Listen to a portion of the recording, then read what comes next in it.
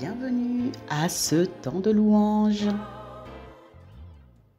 Inspirez aujourd'hui en Hébreu, chapitre 12, verset 14. Recherchez la paix avant tout et la sanctification, sans laquelle personne ne verra le Seigneur.